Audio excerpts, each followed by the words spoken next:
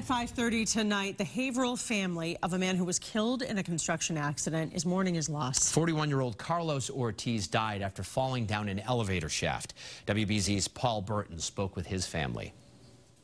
And I think just not having him there when I expected him to always be there, that's what makes this so hard. Vaylee Ortiz fights back tears knowing this Christmas will be a lot different after the tragic death of her father, Carlos Ortiz. I just never imagined that I would lose him when he didn't get to see me graduate or walk me down the aisle at my wedding.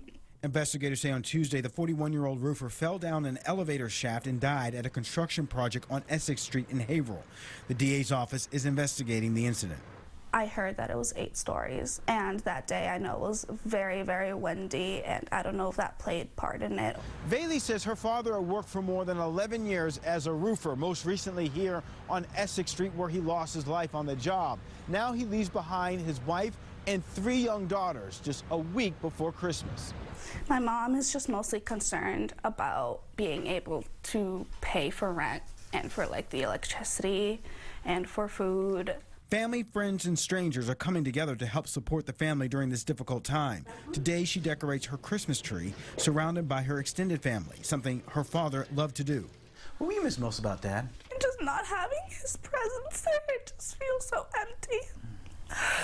I just feel like there's just a hole in my chest where he used to be. The 20 year old junior at UMass Lowell says she will continue to get her degree in criminal justice, something her father strongly supported. He did what he did was so I could have that dream because he knew that was my dream too. And right now, I just want to be able to do that for him and walk across that stage for him. In Haverhill, I'm Paul Burton, WBZ News.